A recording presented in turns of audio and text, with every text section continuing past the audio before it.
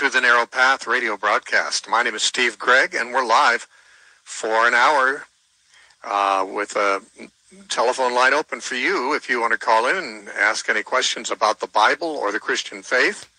You'll find a line open if you call right now. That may not be the case later, so let me give you the number.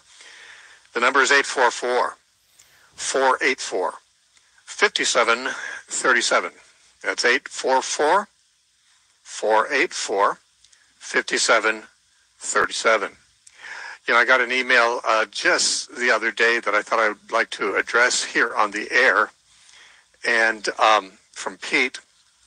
He said, Steve, everywhere I turn, I keep hearing that amillennialism or preterism or replacement theology or whatever is anti Semitic by nature. I know you are identified with these views. Are you anti Semitic? And do you do these views encourage or require one to be anti-Semitic? Um, well, this is a, I think, a, much misunderstood thing. There's nothing about any of those views, and by the way, they're not all the same views. Millennialism is a view uh, about the millennial reign of Christ, uh, which was held by most Christians throughout history, and is an independent belief from, say, preterism or, or partial preterism. I'm not a full preterist, but a partial preterist is somebody who sees the book of Revelation and the Olivet Discourse a certain way, namely that they see it as uh, principally discussing uh, or predicting the fall of Jerusalem. Now, you could be an amillennialist without being a preterist, and many amillennialists have been. For example, Martin Luther and uh, John Calvin, they were uh, amillennial, but they were not preterist. And uh, Abraham Kuyper uh, was uh, amillennial, uh, but not preterist. He was he was a futurist. Luther and Calvin were historicists. In other words, there's different views of the Book of Revelation, which a person who's amillennial could hold, or a person who's postmillennial could hold. It's true that if you're pre-millennial, you're probably going to be a futurist about the Book of Revelation. But if you're amillennial or postmillennial, you could take any number of views. So partial preterism is not joined at the hip with any millennial view, but they are often linked together by their critics and then, of course, you mentioned replacement theology. Uh, replacement theology is a term that nobody I know uses unless they are against it. Um, the truth is that re- what, what, what dispensationalists refer to as replacement theology is a doctrine that was held by all the church fathers, and dispensationalists mention this. Uh, I have a book by David Hocking on replacement theology. I have other books about replacement theology, and, and they're critical of replacement theology, but they admit that as soon as the apostles were dead, this is what the church began to teach. That the earliest church fathers were uh, teaching the doctrine that they are now calling replacement theology. This was also the church's view in the medieval period and in the Reformation. And it's still the view of a very large percentage of churches today. In fact, almost everybody who isn't replacement theology, as they use that term, is usually a dispensationalist or a quasi dispensationalist because dispensationalism is pretty much the view that, uh, that decided that so-called replacement theology was a bad thing. Now, what is replacement theology? Now, if you hear it from a, somebody who uses that term, they're always a critic of it. Uh, they will say this means that the church replaced Israel. Well, there's a sense in which that may be considered to be true, but it certainly isn't the most accurate or enlightening definition of the term. More enlightening would be to say it's the view that the new covenant has replaced the old covenant. Israel remains the same. Israel was serving God under the old covenant, but then the new covenant came and replaced that, and now they serve, the true Israel serves God under the new covenant. Uh, Paul compares it to one woman having two marriages, that is, two covenants. In Romans chapter 7, he says we were married to the law. Okay, that was the, the people of God were relating to God through the covenant like marriage covenant of, of the law. But then he said, we died to the law through the body of Christ so that we'd be married to another, even him that is risen from the dead, that we might bear fruit for God. So, in other words, there's a new covenant that has replaced the old covenant. Same woman, same, same people. The people of God once related to God through the Sinaitic covenant. Today, the real people of God relate to him through the new covenant. That's, that's the more accurate way to put it. And it's hardly controversial because everyone knows that the people of God were under the old covenant in the Old Testament. And then anyone who reads the New Testament is aware that Hebrews 8:13 says, where there's a new covenant, the old covenant is obsolete. Okay, so you don't have two covenants, two marriages at the same time. That's why Paul said that the woman who takes a second husband while her first husband's still living is committing adultery. Now, he's not giving a teaching about adultery he's, or marriage or divorce. He's, he's giving a teaching about two covenants, which historically the people of God have related to God through. In the Old Testament times, they were under the covenant of the law. Now they're under the covenant of Christ, the new covenant. It's like a new marriage. It's a new covenant. And you can't have both of them at the same time. Paul said that would be adultery. So this is, a, uh, to my mind, this is why this view was never considered controversial from the time of the apostles until the 1800s when dispensationalism arose to challenge it, say, no, this is not true. Now, dispensationalism mistakenly says the church replaces Israel. That's not true. But, but this is why they say that this doctrine, which again, we don't call it replacement theology, it's called supersessionism. The, the, the new covenant superseded the old covenant. So it's superseding, supersession of the covenants. This is not anti-Semitic. It is saying that the Jewish people and Gentile people can be the people of God. At one time, Jews and Gentiles could be the people of God under the Old Covenant. When God made the covenant at Mount Sinai, he, he strictly, uh, I mean, not strictly, he, he made it very clear that uh, the Gentiles could be part of this. He said, if any stranger who lives among you wants to be circumcised and keep the law, then he'll be like a stranger, uh, like a native of the land. In other words, you don't have to be Jewish to be one of God's people under the old covenant. Same is true in the new covenant. So the point is, you were God's people if you were faithful to the current covenant. And when it was the old covenant, those who were under the old covenant, whether Jew or Gentile, were God's people and were called Israel. Under the new covenant, the same is true. You can be Jewish or Gentile, but if you're faithful to the new covenant, uh, you're you're God's people. You're Israel. And so Paul compares Israel to an olive tree, which he uh, an image he gets from Jeremiah, from Jeremiah 11:16, where Israel is compared to an olive tree with branches broken off. And Paul said, well, yeah, there are branches are broken off of Israel right now, off that olive tree. That's because of their unbelief in Christ. But of course, the believing Jews have not been broken off. Only the unbelieving branches have been. The believing branches remain. They haven't been replaced. The tree hasn't been replaced. Israel is the tree. And the branches that are faithful to the covenant are the ones that stay attached to the tree. The ones that were unfaithful to the covenant and rejected the Messiah, they have been broken off the tree. But Gentiles, some Gentiles have been uh, faithful to the covenant. They've been grafted into the tree. The tree is Israel, and it's comprised of branches, Jewish and Gentile, who are defined not by their race, but by their faith. And that's the whole teaching of the New Testament is that people are not commended to God by who their ancestors were, but they're commended to God by who they are and what their relationship with God is. And that would be, of course, faith in Christ. There's nothing anti-Semitic about that because it doesn't say anything different about Jews than about Gentiles. In fact, it says Jews and Gentiles are pretty much, well, they're, they're the same. If they're in Christ, they're equal. There's no Jew or Gentile in Christ. And if they're not in Christ, they're equally lost. They're not part of the covenant. So that's not anti-Semitic. Anti-Semitic means against Semites. Now, I just want to say this before I move on to, because we have some callers, but um, just the other day, I just stumbled upon a discussion between Candace Owens and uh, Rabbi Barclay, who had accused her of being anti-Semitic. In fact, he had written an article against her calling her a Jew-hating bigot. Now, she had never said anything against Jews. Uh, she didn't give any evidence of being a Jew hater. What did she say? Well, she said that in the conflict in the Middle East, she wants to look at it level-headedly. She wants to realize, you know, wants to analyze it to see who's doing wrong and who's doing right before she just kind of follows the crowd in making a statement about it. Now, to my mind, that's what I've always said too.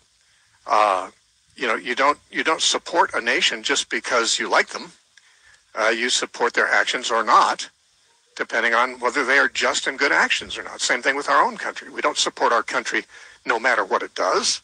There are things that are unjust that our country does, and we don't. We're not supportive of that. Same thing with Israel or or the Palestinians or whoever.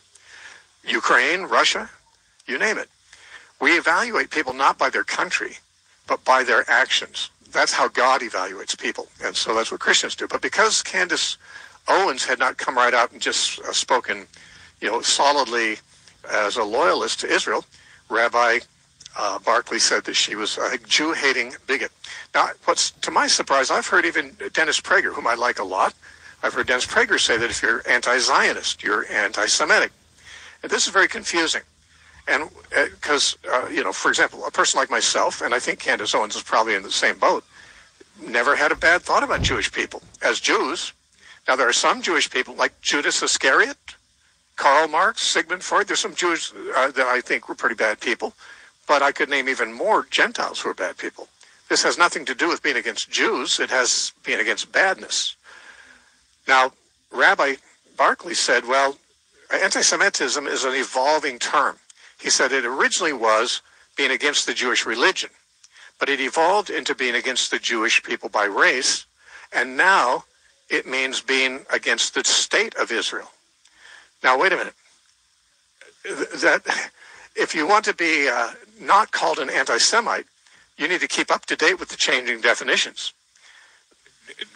You can be judged for being anti-Semite by saying all people, Jews and Gentiles, are equal.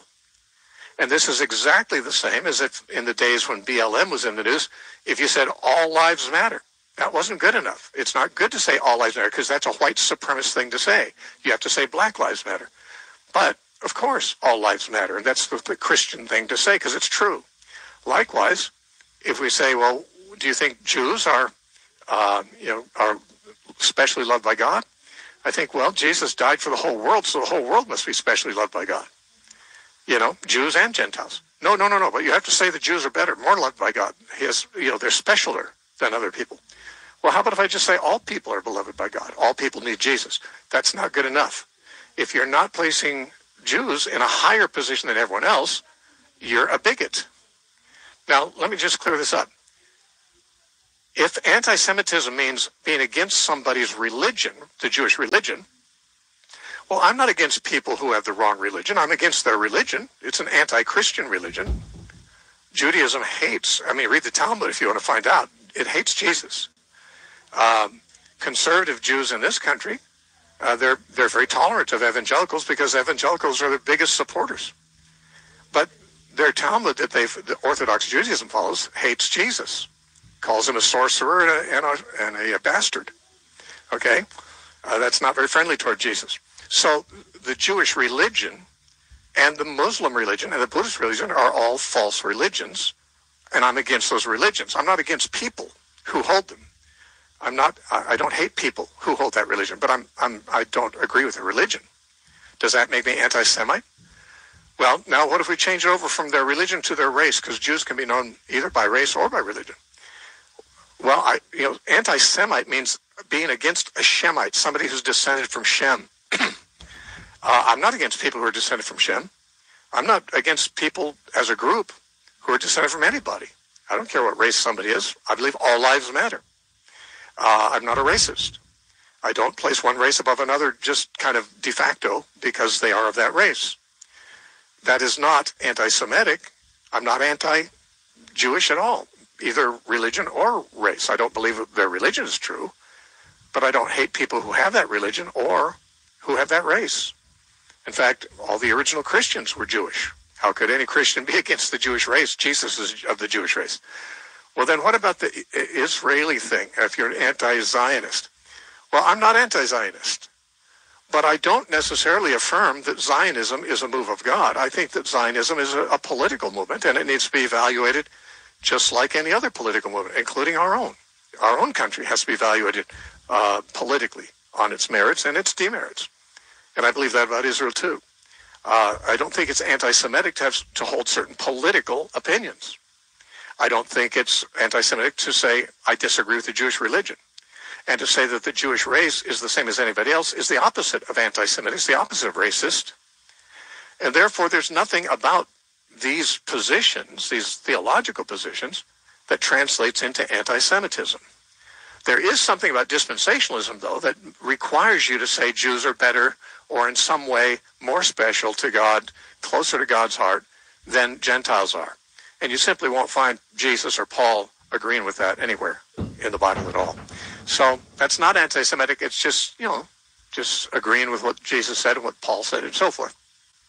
It, it may disappoint people who want you to put Jews on a pedestal, but you don't have to put people on a pedestal to be to love them, to be friendly toward them, and to have no hatred toward them. So these people who are telling you that these uh, eschatological views are, uh, you know, anti-Semitic, uh, they're using words to their own advantage, uh, you know, just to make their theological point sound more right.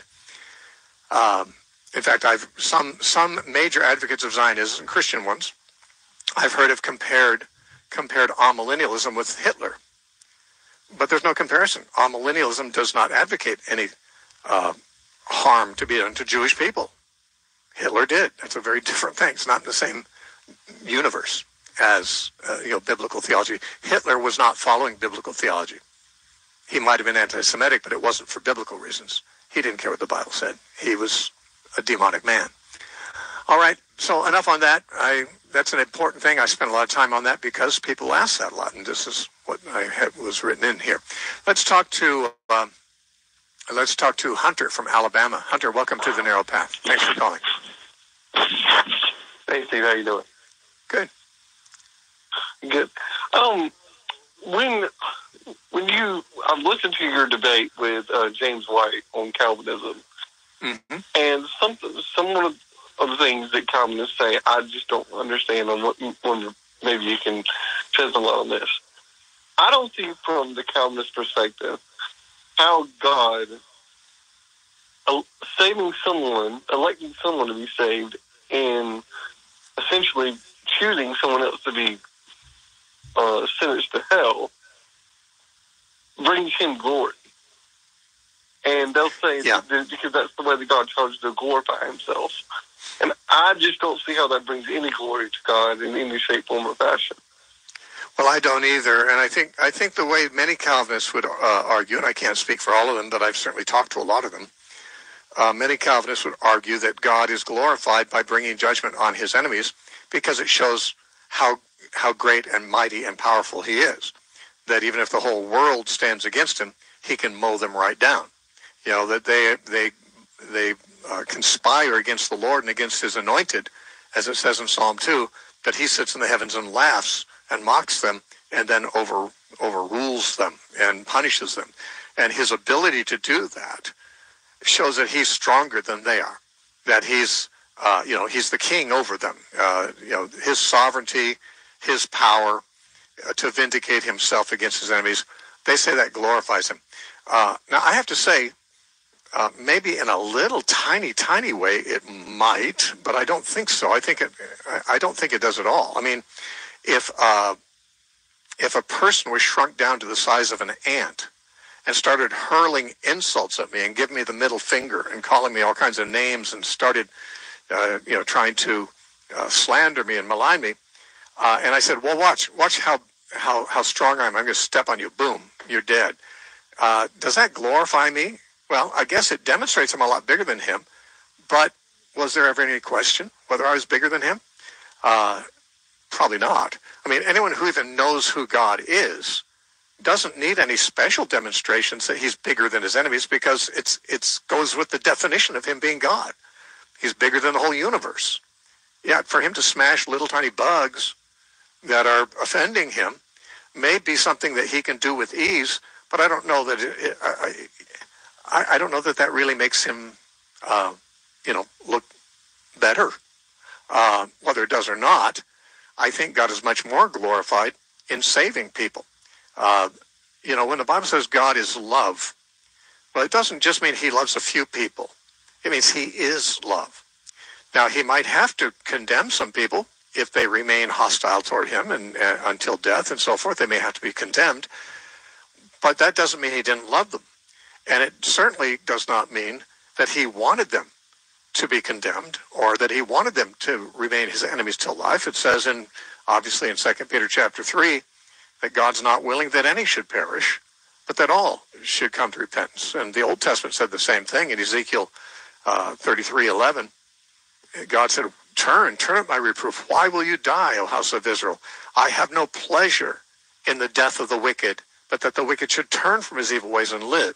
Now, both the Old and the New Testament make very clear that God has no interest in the wicked being punished. They may have to be punished if justice is going to be followed, but he doesn't he doesn't want that. He wants in every case for them to repent. So to say about God that he had the power to save whom he wanted to unilaterally, and everyone who's not saved is someone he did not want to save because he could have, and therefore they went to hell because he wanted them to, is to create a different picture of God than God paints of himself.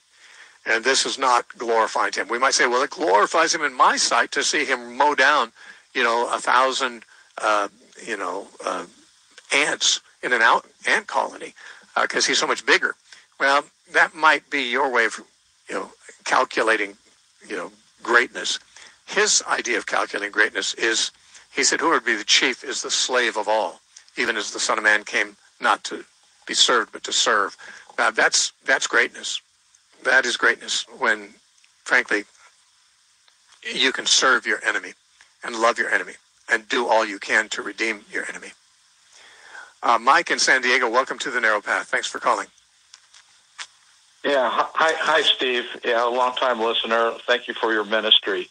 Um, uh, I'm a, I, I'm not a dispensationalist, uh, but um, I would call myself an amillennialist and a partial preterist. But I have a question uh, about a subject that I that I thought I read in Scripture in the Old Testament that I that I can't find. What was there not another temple that was supposed a supposed beautiful temple that was described somewhere that was conditional, uh, but was never built. Yes. Yes. And yes. Ezekiel forty through forty-seven. Where, where, oh, okay, that's what I'm trying to. I wanted to have you comment on on that verse a little bit, and if that carries over into the uh, the future temple argument and so forth, and, and, and I'll take your answer uh, on the radio. Okay. Okay, Mike. Thanks for your call. Well, of course, there's many Christians, dispensationalists primarily, who believe there's going to be a third temple in Jerusalem. They believe there's some prediction that the Antichrist will put an image of himself in that temple. I can't find such a, a, a prediction. They're referring, of course, to uh, Revelation 13 and 2 Thessalonians 2, neither of which make any reference to an antichrist setting himself up in a Jewish temple. But nonetheless, that's what they believe, and they believe that's a future temple. Now, therefore, if there is a future temple, there's already been two. Solomon's temple was destroyed by Babylon in 583 BC, 586 BC, excuse me. And uh, Zerubbabel built the second temple, which was embellished by Herod, and it was destroyed by the Romans in AD 70. So two temples have stood and fallen and therefore they believe there will be a third temple built uh, in our future. And uh, well, where do you find that? Well, part of that is their assumption that the Antichrist is going to have to set himself up in a temple like that. But as I said, there's no statement in Scripture of that happening. Uh, there's no mention of a third Jewish temple in the New Testament. And uh, how about the Old Testament? Well, that's where dispensationalists get most of their theology, uh, their eschatology they get from the Old Testament. And there's only really two places there that could help. One is Ezekiel chapters 40 through 47, where there's simply a description of a temple given to Ezekiel at a time when the Jewish temple did not exist. Nebuchadnezzar had already destroyed the first temple.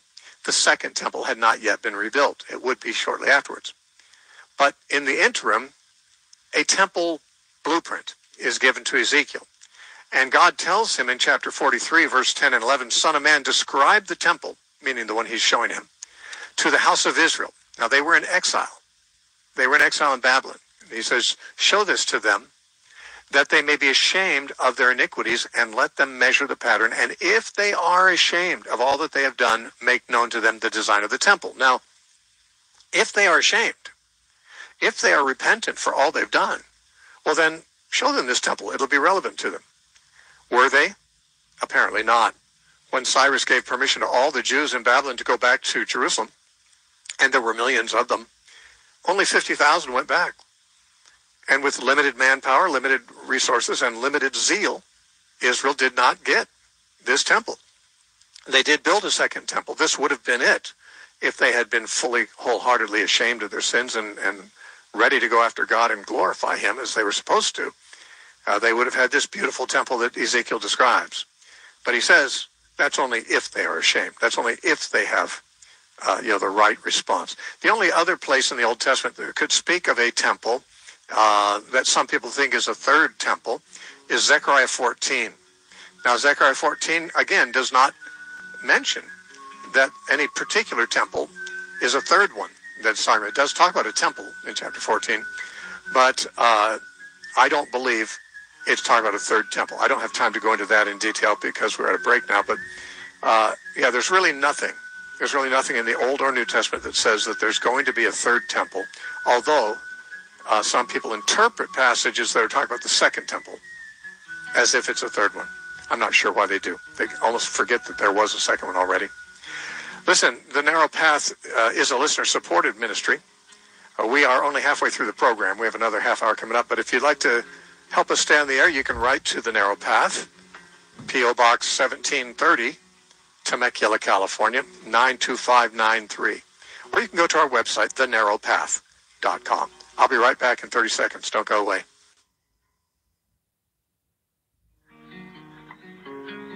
If you call the narrow path, please have your question ready as soon as you are on the air. Do not take much time setting up the question or giving background. If such detail is needed to clarify your question, the host will ask for such information. Our desire is to get as many callers on the air during the short program. There are many calls waiting behind you, so please be considerate to others.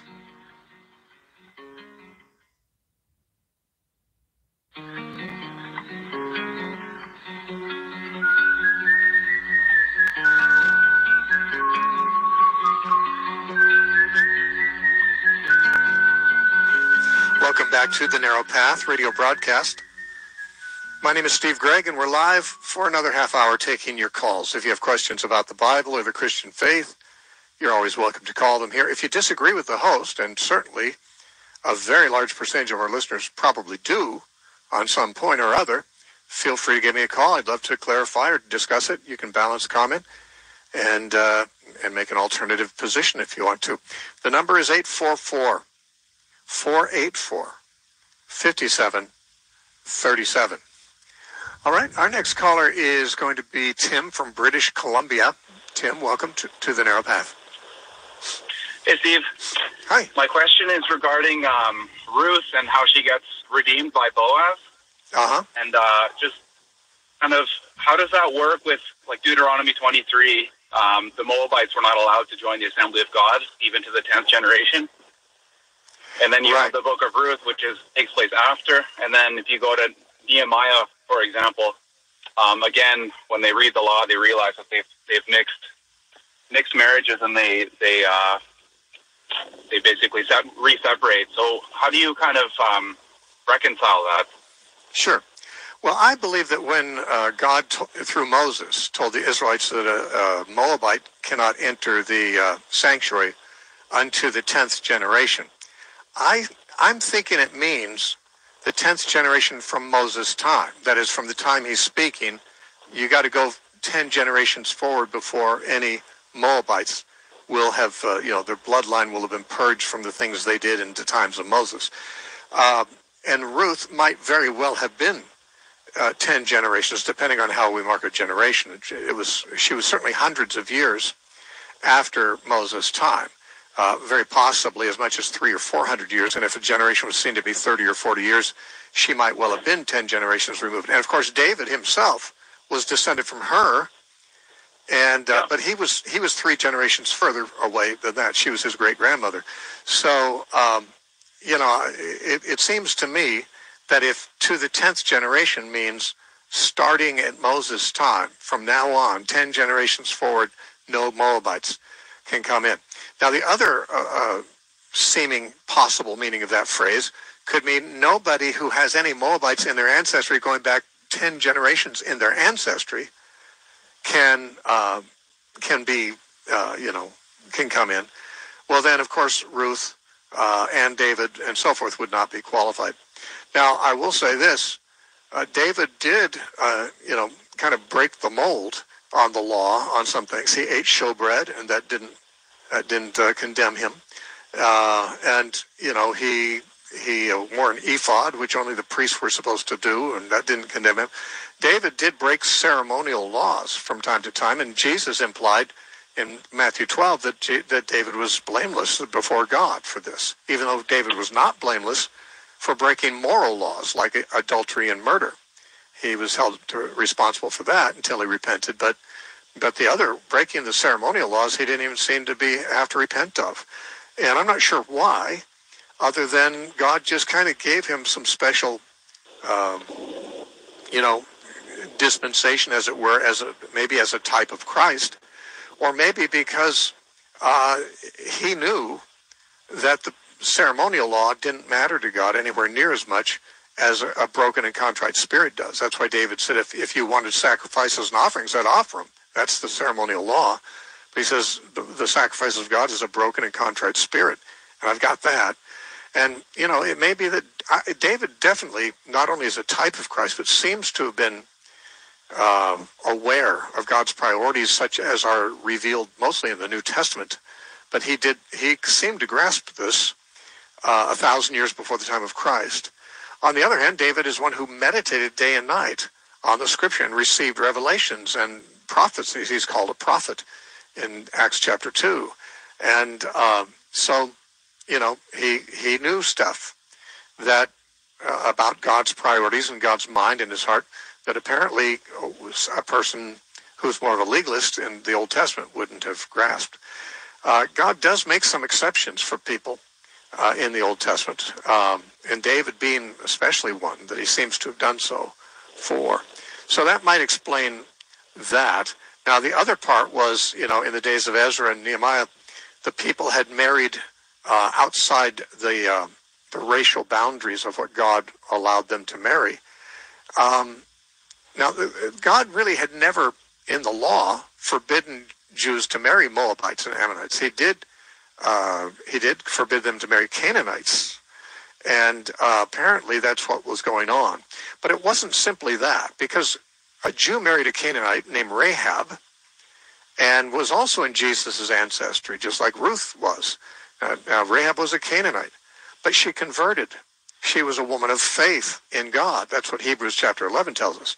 What God was against was not interracial marriage, but interfaith marriage. The problem with the Canaanites is they were gross pagans. And God didn't want Israel intermarrying with them, not because they were of a different bloodline, but because they were of a different spiritual character and different religion. They were idolatrous pagans. So when uh, a Canaanite like Rahab converted to Judaism, she was a Jew. She's, as it says in, in scripture, in I think it's Exodus 12, like a native of the land herself. Ruth also converted. And so she was like a native of the land too. So it would seem like some of these um, restrictions on marriage to different races had more to do with the, the religions of those races than their racial ancestry. And if they changed religions, it's almost like they didn't have that racial ancestry anymore. Now, in Ezra Nehemiah's time, the people were marrying pagans and they were adopting the pagan religions. That was Solomon's problem. Solomon married pagans, women, and he, he built shrines for their gods. This is the problem that God warned against. And, you know, so this is something that God was not tolerant of. The Jewish people who were supposed to be his people worshiping the people of Baal or the people of Ra or the people of Moloch or the people of some other god. That's that was where the objection lay. So that, those would be my thoughts on your questions. Yeah, thanks. Thanks for the uh, yeah food for thought. Okay, Tim. Appreciate your call. God bless. Uh, Eddie in Kentucky, welcome to the Narrow Path. Howdy, Steve. I've got a question for you. I was, I think it was Tuesday last week. You was talking to a caller about uh, the Garden of Eden.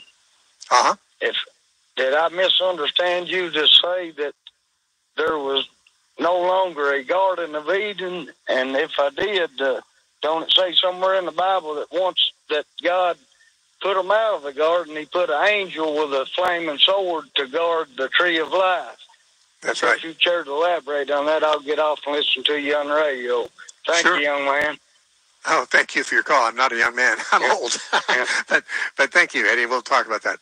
Well, yeah, there is no Garden of Eden today, but that doesn't mean that the Garden of Eden ceased to exist instantly after Adam and Eve sinned. They were driven out of the Garden of Eden, which means they weren't there to tend it anymore. It's going to go wild. You you you don't have any people in a garden, and it becomes a jungle. Uh, but in the meantime, there was the tree of life there, and there was always the I guess, concern on God's part that while that tree of life was there, they might go and eat of it and live uh, and live forever, which He didn't want them to do at that point because of their fallen state. And so He guarded the way to the tree of life as long as it was there. Now we don't know how long it was there, but we know that some things that have happened since that time would preclude the possibility of it being there now. One of those things is the flood. I don't think there's any vegetation or trees or plants uh, that are still uh, growing today that were around before the flood, which was you know what 4,500 years ago or something like that. And so uh, that garden wouldn't be there now. Everything would have been uprooted and covered over with mudslides and things like that. Now, the, you know the the geographical coordinates would still be there. I mean, if you if we knew what the geographical coordinates were bef- before, we could go to the same spot, but we don't know where it was exactly. And even if we did, we wouldn't find the garden there. We'd find probably a desert. It's in the it's in the uh, Tigris Euphrates Valley area, and so I mean uh, that that's why I would say there's no Garden of Eden there anymore. But that doesn't mean that it disappeared as soon as they sinned, and so I think that's what you're concerned about. Why would God put an angel and a flaming sword to guard the way to the tree of life if it's not there anymore? Well, it was there. It was there for some time. We don't know how long, but it didn't just vanish from the face of the earth when Adam and Eve left it. I believe, no doubt, what happened is it got overgrown and became just jungle until the time of the flood, and now who knows what it is. So that those are that that would be how I would understand your question. I appreciate your call, uh, Jonathan from Lynden, Washington. Welcome. Hey, thanks, Steve. I'm uh, looking at Hebrews 4, 14 through 16, where it talks about um, Jesus passing through the heavens. And uh, it says, you know, since we have a great high priest who's passed through the heavens. But, uh, and I'm, I'm thinking about it in context of that first four chapters where the movement has been uh, from this eternal Son in chapter 1 become the incarnate Jesus in chapter 2 and uh, I think I've always read 414 as talking about the ascent of the high priest, but I, I'm, I'm wondering if if it's probably better to read 414 as talking about passing through the heavens as a descent uh, into creation uh, movement. Well, let's see. Seeing then that we have a great high priest who has passed through the heavens, Jesus, the Son of God, let us hold fast our confession. So you're saying he passed through the heavens in descending to earth, rather than this being a reference to him ascending into heaven. Uh, well, yeah, I don't. comes later. Yeah, I, I don't know that I would reach that conclusion. I, I suppose one could uh, take it that way if they wanted to, in view of the fact that Paul said in Ephesians about Jesus, it says in Ephesians 4 8, therefore he says, when he ascended on high, he led captivity captive and gave gifts to men. Then he says, now this, he ascended. What does it mean? But that he also first descended to the lower parts of the earth. That is, before Jesus ascended to heaven, he had to come down from heaven, or else there would be no way to ascend there. He was in heaven before he came here, but he first descended to the lower regions of the earth, lived his life here, and then ascended. So he's saying the very fact that we speak of him ascending, when in fact he originally was in heaven in the first place, means he must have first come down so that he could ascend again. And so passing through the heavens upward and downward are both referred to. In fact, Paul suggests that one motion uh, presupposes the other. If he ascended, it means he first descended. So when you say that he passed through the heavens, could mean his descent rather than his ascent. Uh, I, I guess I couldn't rule that out. I don't think that is likely to be the meaning for the simple reason that the writer of Hebrews is speaking about his priestliness And in chapter 9, he talks about how Jesus, as a high priest, ascended or went into the holiest of all with his own blood, just like the high priest does on the on Yom Kippur. He takes the blood of an animal into the Holy of Holies and sprinkles the mercy seat. This is the uh, way that um, this is the way that the writer of Hebrews is seeing what Jesus did when he went to heaven into the Holy of Holies. And he says in verse 11 of chapter 9, but Christ came as high priest of good things to come, not uh, with a greater and more perfect tabernacle, not made with hands, that is, not of this creation, not with the blood of goats and calves, but with his own blood he entered the most holy place once for all, having obtained redemption, eternal redemption. Now, that, that means, of course, after he died and rose again, when he obtained eternal redemption, he went into the most holy place, which is identified here with heaven, as a high priest to offer blood there, as the priest did when he went into the Holy of Holies. So, in speaking of Christ's priesthood, I think the writer of Hebrews is thinking primarily of what we call his present session. That's what theologians call it. His session is his time between his ascension and his return, the time we're living in now. He's his session in heaven. What's he doing? Well, he's acting as a high priest, just like the high priest went into the Holy of Holies. That's what Jesus has done. He's gone up into the Holy of Holies in heaven. And therefore, in chapter 4, where he speaks about Jesus being a high priest who passed through the heavens, it strikes me as probable that he means when he ascended into heaven and went into the Holy of Holies, that's his high priestly role. But you're you're right in the sense that for him to do that, he had to first come down through the heavens to be among us here. I just don't know that that's what the writer of Hebrews would be have primarily in mind by using that phrase. Okay, yeah, I, I understand the chapter nine part. I was just thinking more specifically about the kind of the logic of the argument as it progressed through the book. Well, you know, it's true. The first, yeah, the first chapters. You're right. The first chapters are showing that Jesus is superior to everything, to the angels, to Moses, to Joshua, to Aaron, the high priest. Uh, you know, he's he's superior to everything great in the Old Testament. That's what the the opening movement of the book of Hebrews is about.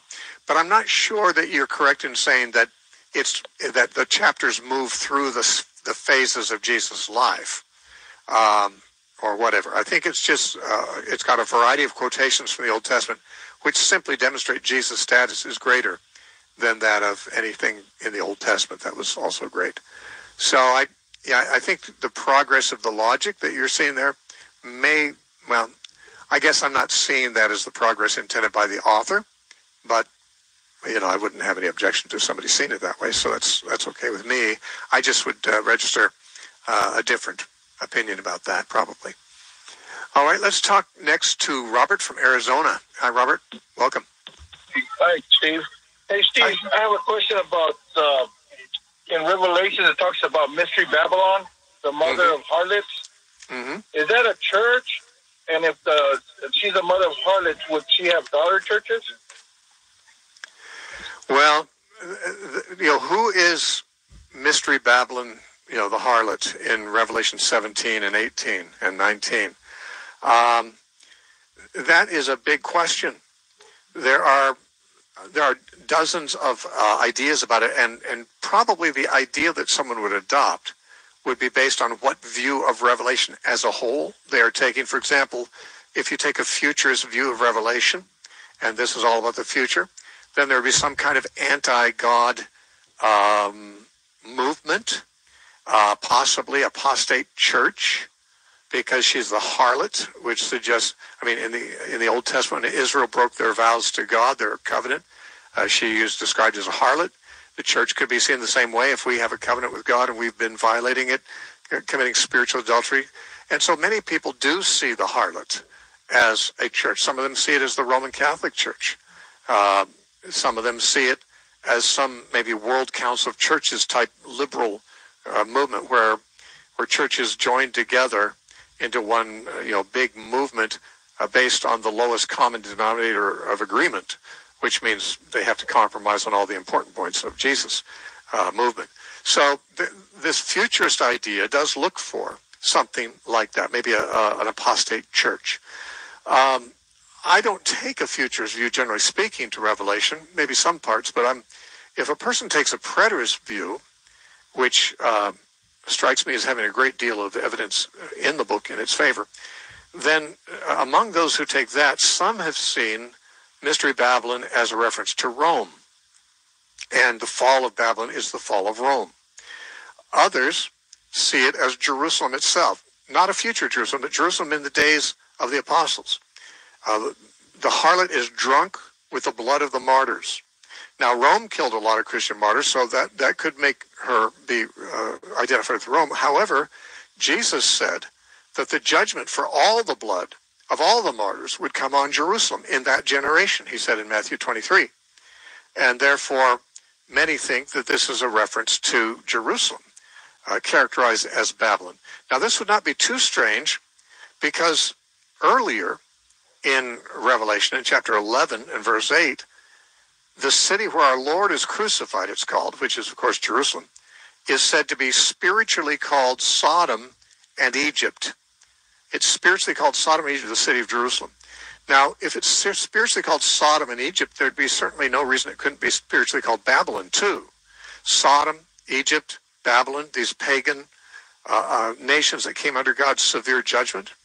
Uh, you know, if Jerusalem is like a spiritual Sodom and Egypt, it could certainly be a spiritual uh, Babylon as well. And interestingly, the judgments that are coming in the book of Revelation often resemble the judgment that came on Sodom. There's a lot of fire and brimstone in the book of Revelation, which comes from the story of the destruction of Sodom. There's a lot of plagues, like the plagues of Egypt, which reminds us of Exodus and the judgment on Egypt. And there's also the kings of the east coming and drying up the river Euphrates to get under the wall of Babylon, which is what Cyrus did. And that's how Babylon fell in the Old Testament. That's also in the book of Revelation. And so there is a, there is a good, strong case to make for it being Jerusalem though ma- many people feel like it's Rome. And then, of course, there's others who believe it's some apostate church in the end times. You'd have to really evaluate uh, the, you know, the strengths and weaknesses of each of the different views of Revelation as a whole before you could really make an intelligent decision about who Babylon or any other major uh, figure in Revelation is supposed to represent. And there's also views of it. It sounds like there's something. Um, it sounds like a delay or something there. All right, let's talk to um, David from New Mexico. David, welcome to the Narrow Path. Hey, Steve. I have a couple of related questions.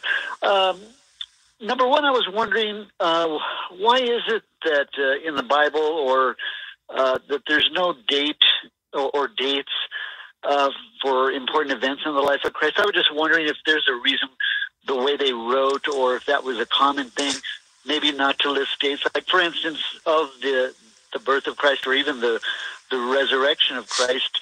But the other more important question I was going to ask you was related to the burial of Christ in relation to the controversy about is it the Church of the Holy Sepulchre or the Garden Tomb? I was mm-hmm. wondering, is there a best argument to be made for either one of those? And because some skeptics will say, well, you know, why why don't we know exactly where he was laid?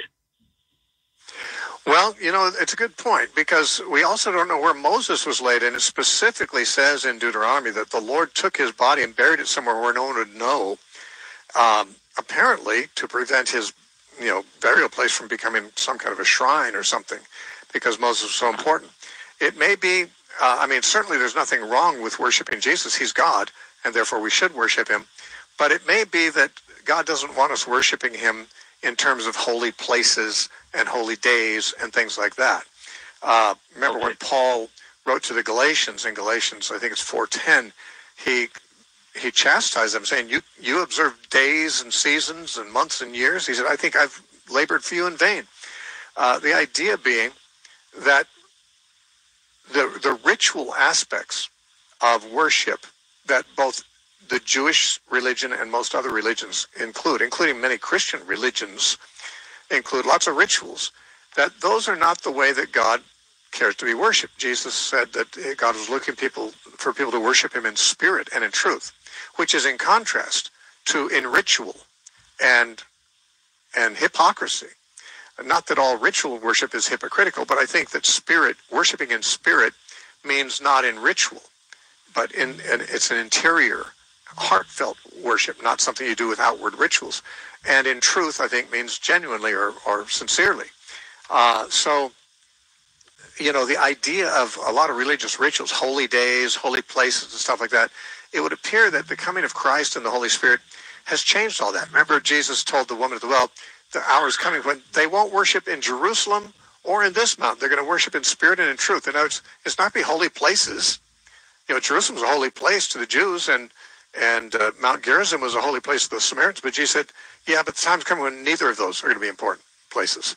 Um, because there are no important places. Remember, Stephen said in Acts chapter 7, the most holy does not dwell in houses made with hands, which means no physical temples, no physical buildings, no physical locations are holy places at all. They were in the Old Testament, but this is the New Testament time now. And we don't, you know, God is looking for people who worship him in spirit and truth, not through religious rituals. Now, if we had the actual birth date of Jesus or the actual death date of Jesus, where we kind of do, we know what, what time of year it was, not the birth date, but the death date. Uh, you know, we might we might obsess on it. I mean, look how people obsess on Christmas. I like Christmas, frankly. I like Christmas, but and we even know it's not the real birthday of Jesus. But what's interesting is we're not told what the real birthday of Jesus is. How? how what an omission! Like you say, why doesn't the Bible give us more dates and places and, and those kinds of things? Because of our propensity to assign holiness to dates and places, and uh, that's what, frankly, that's what pagan religions do. In Christ, every place is a holy place. All ground is holy ground. You can't go somewhere and live a secular life some of the week and then go to another place and have to be holy another part of the week because the whole earth is the Lord's and the fullness uh, of, of, of, it. Now, uh, we do know something about the timing of Christ's ministry, but not very much. We know the year, for example, that Jesus began his ministry because we're told in Luke 3 1, it's the 15th year of the reign of Tiberius Caesar uh, which is 27 AD. It says Pontius Pilate was the governor. Well, he was governor from 26 to 36 AD. He says Herod was the tetrarch of Galilee. Well, he was in that position between 4 BC and uh, 39. And this is when Jesus was 30 years old. So you can go back a little bit and say, well, he was born, you know, right around uh, 4 or 5 BC and uh, he started his ministry in 27 AD. As far as the length of his ministry, we're not really told how long it was, except there are three and possibly four Passovers mentioned in his ministry. Now, between one Passover and another, there's a whole year. So if there's two Passovers, that, that measures a year. If there's three, that's two years. If there's four, that's three years. And Jesus started his ministry a little bit before a Passover, which be, you know, add a few more months to whatever the date is. Now, was it two and a half or three and a half years we're looking at? Well, that depends on how we understand the feast mentioned in uh, John chapter 5. We don't know if it was a Passover or not. If it was a Passover, then there were four Passovers in the ministry of Jesus and and plus some months. So it'd be about three and a half years. So we have some idea of the general time frame. He would have died around 30 or 31 AD, probably, uh, maybe 32, depends.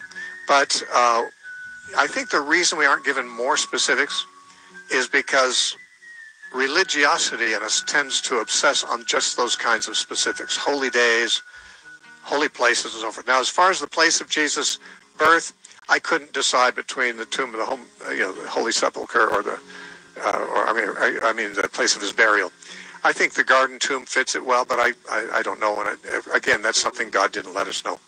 I'm sorry we're out of time. You're listening to the uh, Narrow Path. Our website's thenarrowpath.com. Thanks for joining us.